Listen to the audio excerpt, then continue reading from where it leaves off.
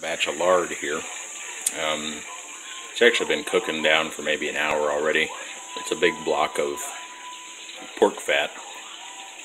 Um, Cabrix, sometimes anyway, they'll go ahead and run it through their sausage grinder, which basically grinds it up and um, it'll cook down faster this way. I'm not sure I really like that.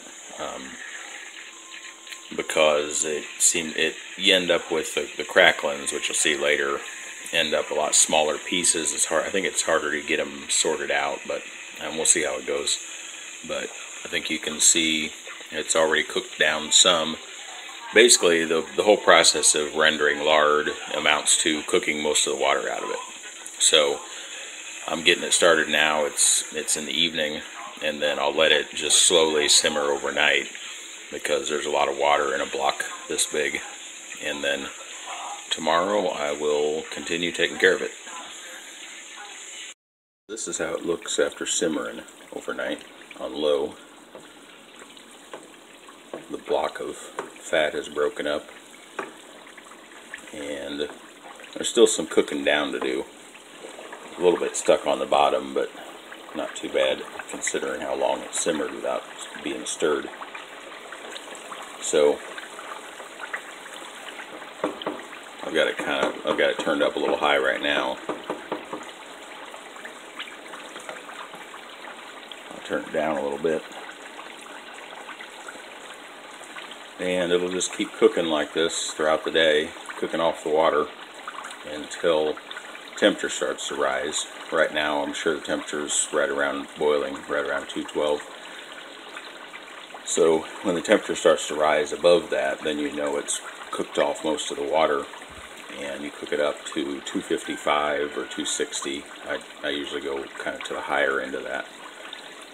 And then at that point it's done. So I will continue with this and check back on it again later. Okay, this is pretty close to the right temperature at this point.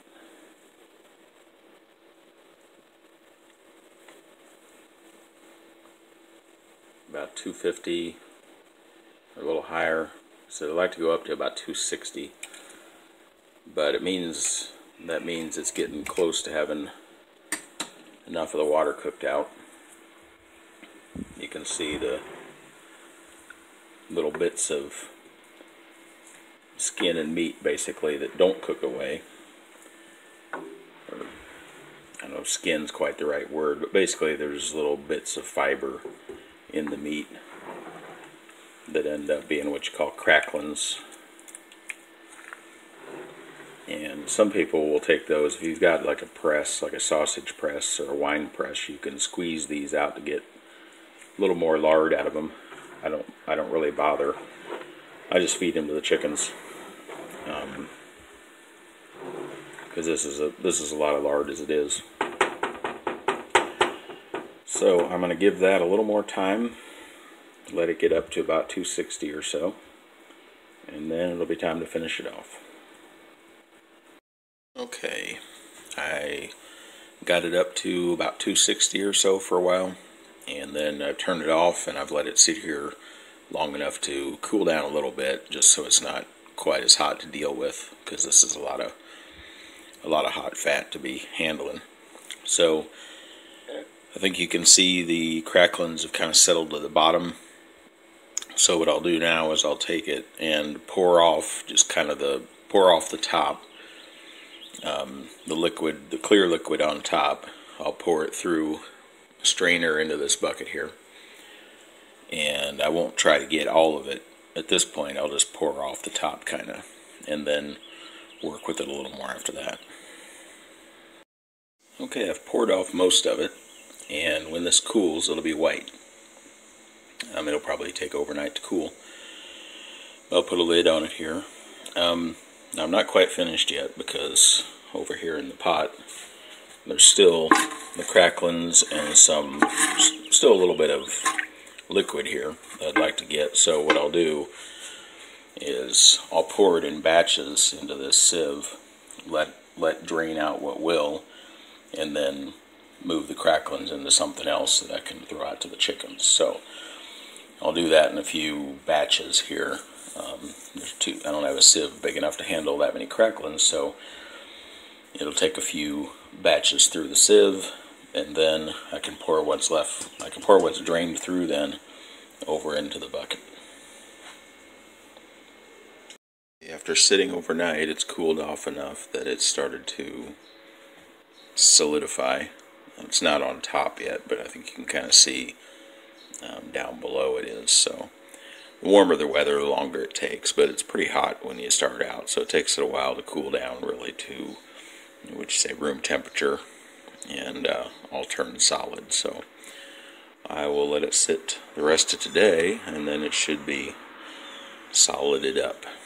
Um, these are the cracklings I ended up with, so they'll go to the chickens. No sense in wasting anything. The last little bit of it that I drained out of the cracklings with a sieve, um, I'll probably just use this out of this bowl rather than add it to the, the bucket because this will have, you can see that this I put in the fridge overnight so it's gotten good and solid. But it'll have more little bits of stuff on the bottom. You can kind of see that there that settled out of it so I don't like to put that in the bucket um, because that lard by itself will keep a long time but the more other stuff the more other pieces of pork are in it the less it'll keep so I'll use this first and then start on the bucket it'll all be clean. And this is what it looks like when it's done so it's so almost solid now. It's still still firming up but this is basically what it'll look like. It might get a little whiter but it's basically done. So I think this is I guess this is a three gallon bucket so this would be about six quarts. This will last me quite a while since not doing any baking around here these days um, if you used it as shortening in biscuits and pies and stuff like that, it would go faster, but I'll just be using it in frying. Um, and if you, basically, a lot of places where you might normally use shortening or oil or something like that, I'll use this. So I'm working, I need to work out a mayonnaise recipe using it because that's one thing that, especially if you're low carbon, mayonnaise is awfully handy but it's all basically made of soybean oil these days. Um, unless you want to really pay through the nose, you can get some that's like part olive oil, part canola oil, which isn't the worst thing in the world, but the olive oil is okay. Don't don't need the canola oil, but um, making it with lard, you end up with um, a lot thicker a substance because of the saturated fat.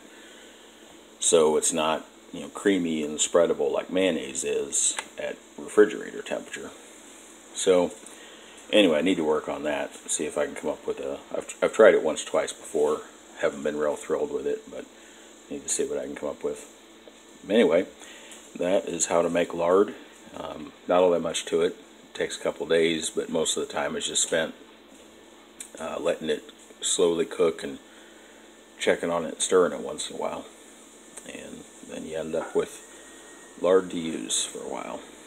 So thanks for watching, and I hope this comes in useful.